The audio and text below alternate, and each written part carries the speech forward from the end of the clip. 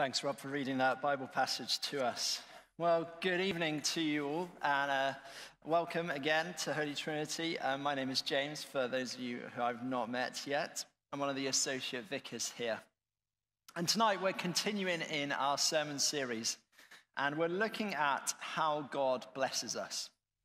Two weeks ago, Jit spoke uh, and introduced this series about God's blessing in general. And then last week, Elaine, the vicar here, spoke on being blessed through prayer. Um, in the persistence and perseverance of prayer, which is all about relationship with God, we are blessed. Now, the word blessing or blessed is used a fair amount in the English language, isn't it? And in a nutshell, I, I like to think of being blessed by God as simply just receiving something good from Him. And we can also be a blessing to others too by sharing what we have received, almost passing on the blessing to others. And that's what I'm going to be talking around and looking at tonight. For the title for tonight is Blessed Through Community. So let me pray for us as we begin. Thank you, God Thank you, God, for all the good things you give us in so many ways we receive your blessing, uh, including the opportunity to gather together tonight to look at your word and to receive you and to meet with you. May our minds, our, our hearts, our, our bodies, all that we are, be open to you tonight. Amen.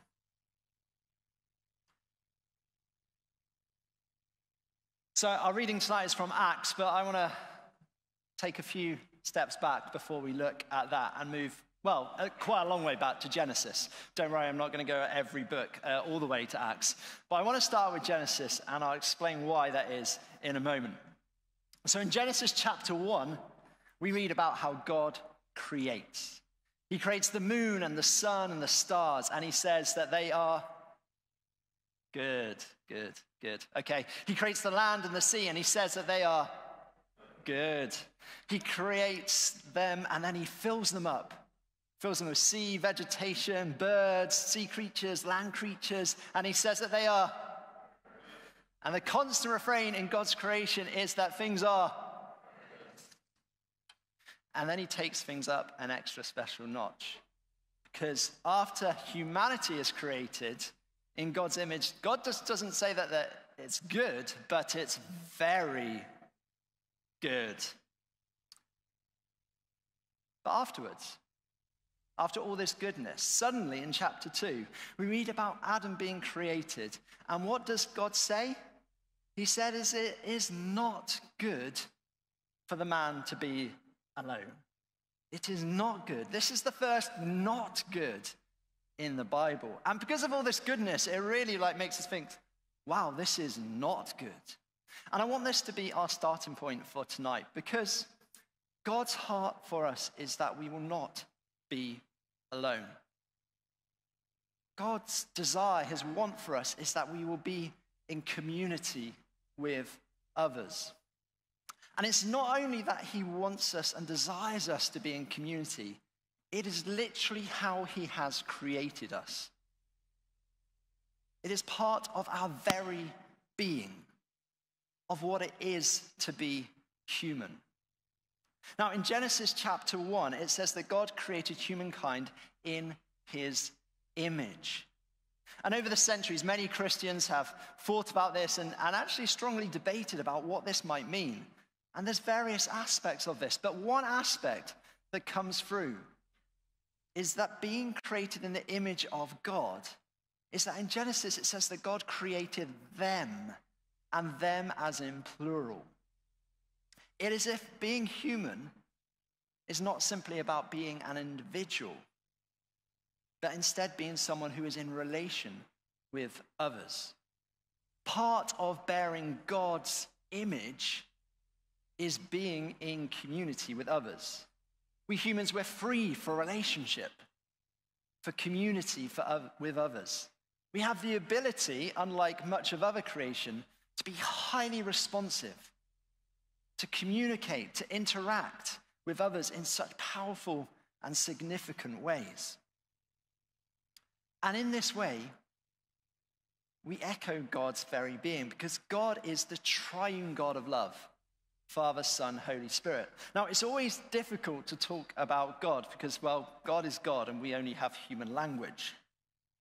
But you could say that we image God as humankind in community. Well, because God is community in some sense Father, Son, and Holy Spirit.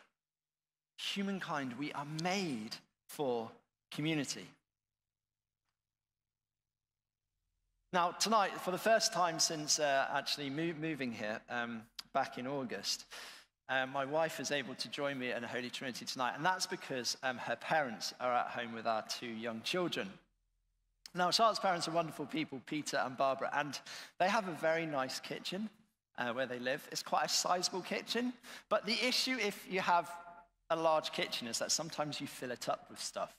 I don't know if any of you experienced this. So, a number of years ago, um, it became a bit of a standing joke about their very complex filing system in their kitchen. Um, well, when I say complex filing system, I mean pile of papers, and the filing system was a bread maker.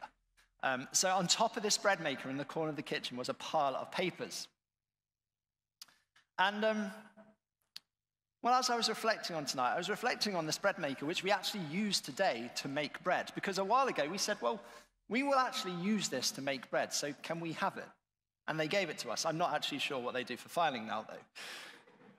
I might ask them actually uh, tomorrow when I, when I see them, or tonight when I get back. But the bread maker is now fulfilling what it was made to do by making bread. And when something operates in the way it's designed or made for.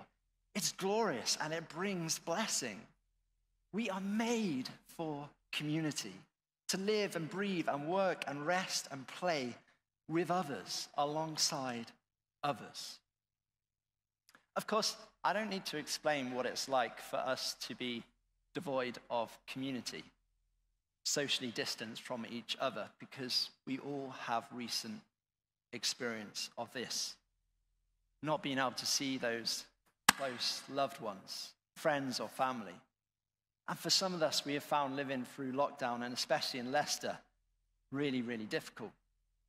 However, I know that some have really enjoyed the opportunity to have a bit more space and solitude. And if, like me, you're an introvert, we do, of course, need space and time on our own. Different personality preferences, of course. But deep down within us all, in the way we are created, is that we are relational beings made for community with others. So, in our Acts passage tonight, you might want to turn to it in your Bibles or phones, Acts chapter 4, verse 32 onwards. We see this community of these very first believers of Jesus. Now, in the great story of the Bible, uh, this chapter 4 of Acts, Jesus has, has died, he's risen again and he's ascended to heaven. And the Holy Spirit has come and been poured out on Jesus' followers. And, and that, in some ways, is the immediate context for this passage. I mean, if you just scroll up, you will see just before that the believers have been gathered together and they've been praying and they were filled with the Holy Spirit. Now, the Holy Spirit is described in many different ways in the Bible. But one aspect of the Holy Spirit, the work of the Holy Spirit, is to unite followers of Jesus together. And I think it's no coincidence that Luke, uh, the writer of Acts, has just described that the Holy Spirit has been filling up these followers of Jesus. That the whole group, it says, were one in heart and mind. And heart and mind is about, it's about everything. It's about feelings, desires, thoughts, impulses, affections, the whole of the person. So these early believers, filled and empowered by the Holy Spirit, were able to come together and be united as community. And we read today in our passage that a significant part of this was sharing with each other so that there was no one in need amongst them. Community at its heart is about love And love in its fullest expression is the laying down of self for someone else. There was no need among these early Christians because there was sacrificial giving to each other. Now, Luke doesn't really go into the specific details about how this works. He gives one particular example of Barnabas.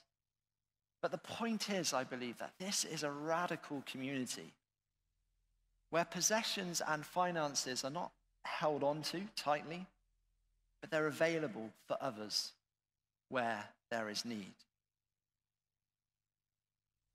Now, these few verses from Acts paint a really positive picture about what incredible community can be like, incredible Christian community.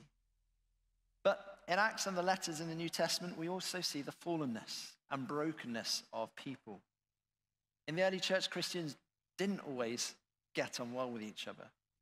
They weren't always of one heart and mind, and we do read about various fallings out.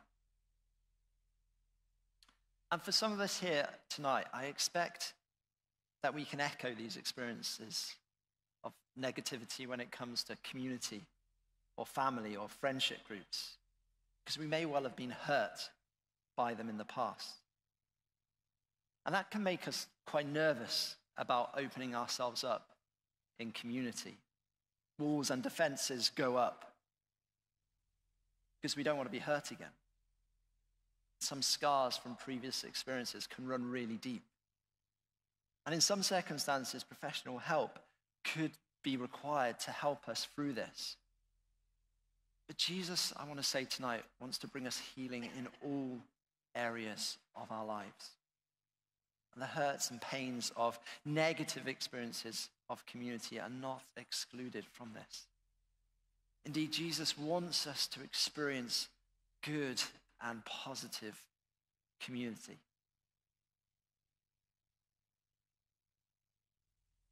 And I think one of the ways this works out is learning from Jesus' life itself.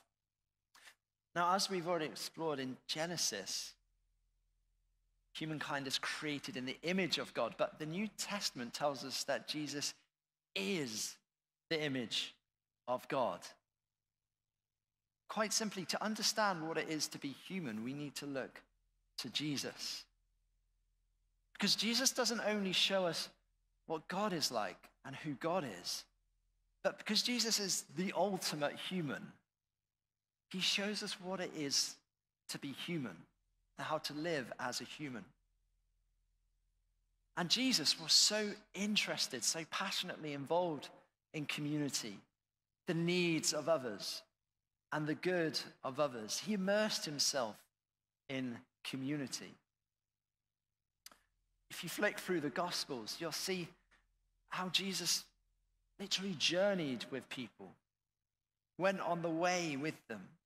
He dedicated time in close community with his disciples, teaching them, eating with them, feeding them, traveling with them, training them, encouraging them, even washing their feet. And of course, Jesus healed people of all kinds of diseases. Large crowds came to him. And he went to his death willingly for people. In an outstanding act of love and self sacrifice, he laid down his love on the cross so that others might live. I mean, Jesus is the example that we look to in how to live for others. Indeed, how to die for others. He gives us an example of how we might do community with others. But not only does Jesus demonstrate this, demonstrates how to live as community, but he actually creates community. He creates very community. Because through Jesus' death, he made a way for us to be united with God. Jesus enables us to be reconciled with God through the forgiveness of our sin and the restoration of our brokenness. And in this way, Jesus creates a community for us to be a part of. And this community is, well, it's the church. The church over history and into the future over continents and countries. Jesus' believers, Jesus' followers are united together in the most incredible community. Jesus creates a community. He makes his followers into a massive family, a great community with little expressions all over the globe, including right here in Leicester, including right here in this building tonight. Jesus enables us to be children of the loving Father, our Father in heaven. Now, the Bible talks about this in loads of places, but one really succinct one is in Galatians 3:26. It says, "In Christ Jesus, you are all children of God through faith." So if you are a follower of Jesus here tonight, know that you are a beloved child of the Father, that Jesus died for you to enable you to enter into a community with the Trinity, the loving Father, the Son who died for you, and the Spirit who lives within you.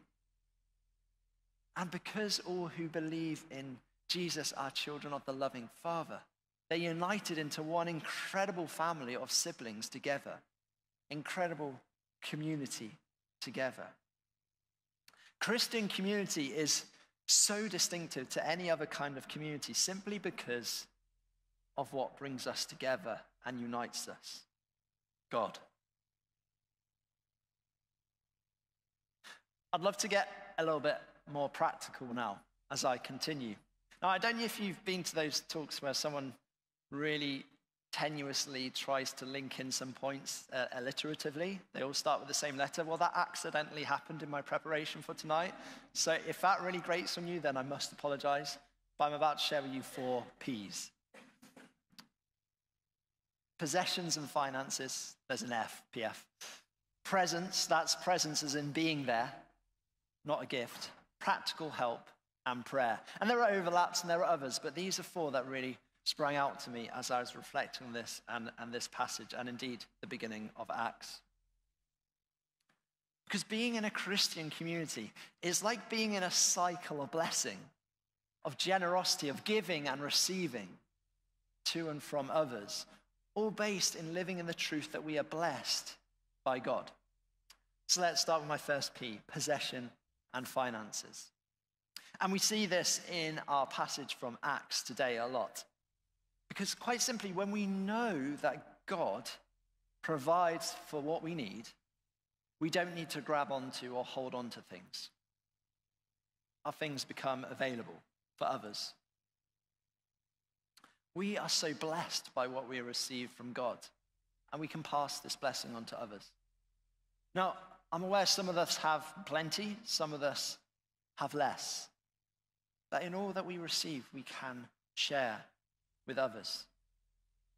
Christian community is about, as Acts 4 puts it, seeing that there is no needy person amongst us. And this can work out very practically. You know, giving to our Friday evening triangle group is one simple way we can do this at HTL. There's a, a box out in the foyer, and I know many of you do this. I'm very grateful for that. And I want to share two very simple um, stories from my life one where I was a blessing to someone else, and one where I was blessed myself. So, as I mentioned earlier, I moved back in August to Leicester. And when I moved in, I had lots of empty boxes. And I could have tried to sell them, but I thought, you know, someone at a church the size of Holy Trinity must be moving house soon. And I can bless them with them. And I was able to give them to Marie, who works in the coffee shop when she moved last year. Just a small thing, but a blessing. A few years ago, I went to America and uh, I was doing a placement at a church there. Um, and I went to meet a Christian leader who was involved with this massive regional food bank. Showed me kind of around the warehouse with these huge shelves. And after about literally 45 minutes of like chatting and like showing me around, he suddenly kind of said, James, do you need a car when you're here? And I said, well, well yeah, that would be really helpful actually. And he basically lent me his car. I, I met him 45 minutes earlier. Uh, not only that, he gave me a gift card for fuel, said that we could use the swimming pool when he was away for a few days in his house, and um, the car was actually quite nice. And I was like, I literally met you 45 minutes ago, but we were united through Jesus. part of the global family, the global community of Christians. We are so blessed by the generosity of God, our very breath in our lungs, that we can pass on that blessing of generosity to others. So that was number one possessions. Number two, presence or time. Christian community is about being with each other, not giving up the habit of meeting together, as Hebrews 10 puts it.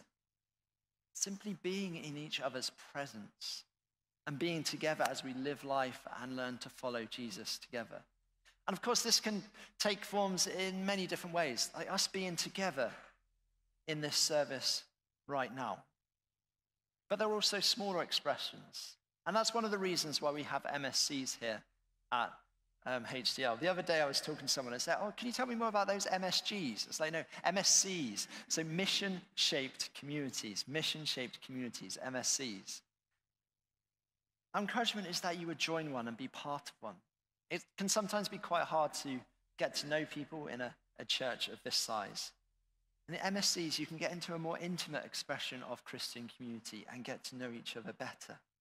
And part of presence is being available for each other.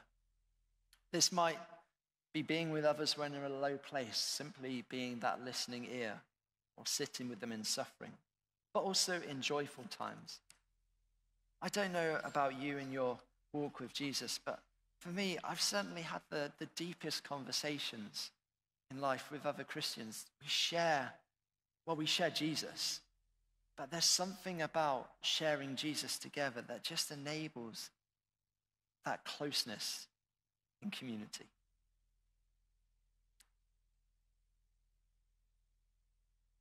So, possessions, presence. Thirdly, practical help. Just helping someone with their garden or to move house, offering to babysit for their children, giving someone a lift somewhere.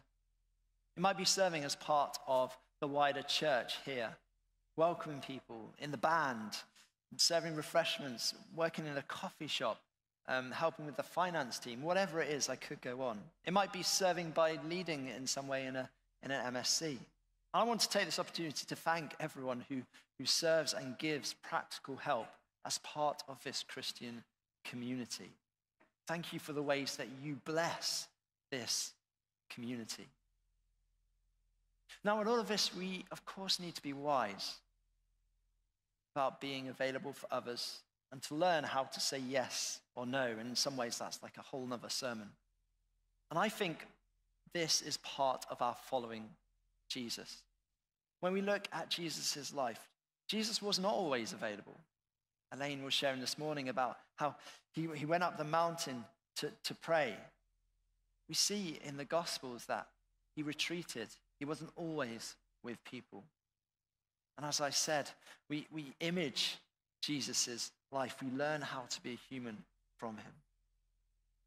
So, possessions, presence, practical help, and finally, and quite simply, prayer. And of course, Elaine spoke about this last week. Prayer is such a vital part of our Christian community. When we gather together, we pray. But when we are apart, we also pray for each other. We share prayer requests with others, simply saying, I've got a need. I'd love you to pray for this. And that is another way of, of responding to people's needs, not just in you know, possessions or presence or, or practical help, but in prayer as well. And I'm really encouraged by the openness of people to request prayer. And you know, some people hate WhatsApp, some people love it. But as a tool for sharing prayer and prayer requests, I think it is amazing. So, possessions, presence, practical help, and prayer. Being in a Christian community is like being in a cycle of blessing, of generosity, of giving and receiving to and from others, all based living in the truth that we are blessed by God. We receive blessings from God and then bless others. We bless because we are blessed. We bless others as a response to being blessed. And this kind of community that I've been talking about is incredibly attractive. A community that really cares for each other, is dedicated to each other. I was at an MSC gathering a number of years ago, and there was someone who was invited in. I think literally someone met him on a bus and said, Do you want to come and have food with us tonight? He wasn't a man of faith. He, he didn't believe in Jesus. And we were chatting about this, and he said, You know, there's just something about the community of church that is so bewilderingly attractive. There's something so intriguing by it. Living our lives in Christian community well is so incredibly attractive and it's missional. Because people who are not yet followers of Jesus look in and see the way lives are lived and shared together and think, what is this? This looks good. Maybe I could be a part of this. And sometimes one of the first steps for people encountering Jesus is actually encountering Jesus' community, his church, and the way they are together. I want to offer a few challenges and invitations tonight as I finish. For those who do know, who do not know Jesus tonight, my challenge, my encouragement is come and play. Will you come and be part of his community, the church, and all that means? This morning, in our morning service, someone gave their life to Jesus. They became a Christian. And there was such joy for so many reasons, but including that they've joined God's community. And there may well be people here tonight, online or in this building right now, who've not yet invited Jesus into their life. I want to say, come. Come and accept Jesus and join his family. Perhaps you would call yourself a Christian. And if you're in an MSC, then great. How can your MSC grow in its community and be a blessing not only to its members, but also be a blessing to those who don't know Jesus too? How can it be a community that is so attractive that others want to come and see what it's all about and join in? And if you aren't in an MSC and maybe you're relatively new to HTL, maybe not. What is holding you back from joining one? Come and see what being a closer part of God's family can be like, of being a part of Jesus' community and being blessed through it and blessing others too. Jesus is making us into a massive family, a massive community, united by Him, His work, by his Holy Spirit, children of a loving Father. And for those who don't know Jesus tonight, there's an offer, there's an invitation to come and join his family and be blessed by Jesus and his family, to say yes the first time and enter into this community he is building. Lois, would you come and join me as we lead a response? And I'd love to invite the band up too.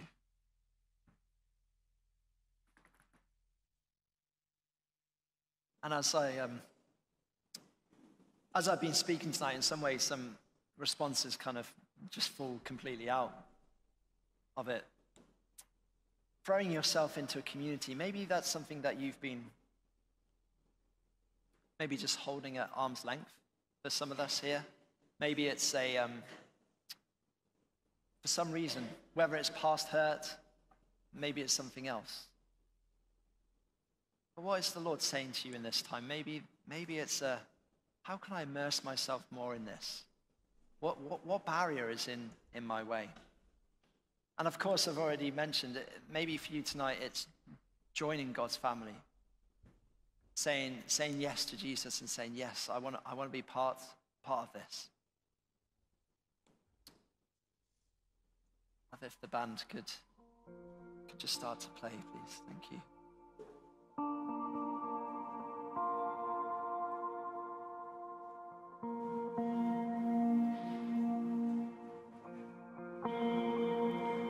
As the band are playing, I'd, love us to just in this in this moment just just reflect. What what is it that the Lord is speaking to you about in this moment? It might be that there's been something I've I've I've said tonight that has really you know, feel, you feel like there's a, oh, that, that might be me for some reason. And if that's the case, whether it's about saying yes to Jesus, maybe it's about hurt in your uh, past when it comes to community, maybe it's something else, then I'd, I'd love to invite um, you to come, come forward.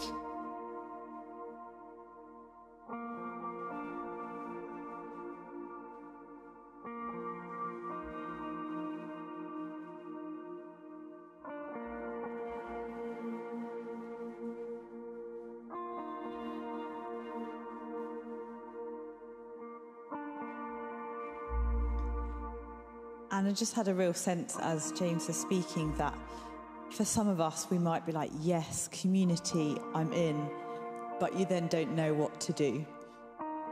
And I feel a sense that God wants to inspire people this evening.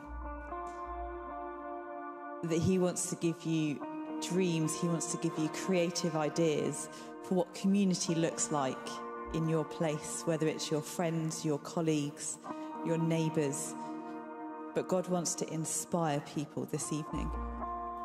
And also a sense that there might be some of us here this evening that maybe God has been speaking to us as James has been speaking.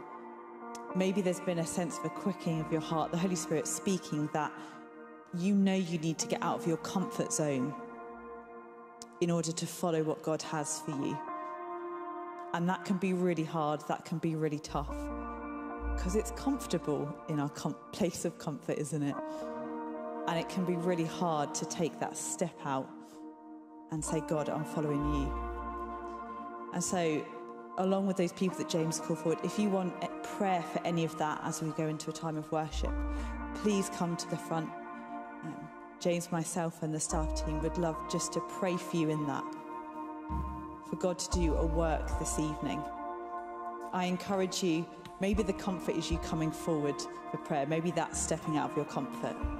If you know that you need prayer this evening, then make sure you don't leave without getting it. Maybe it's you tap someone next to you and ask them to pray for you. But God wants to do a work this evening.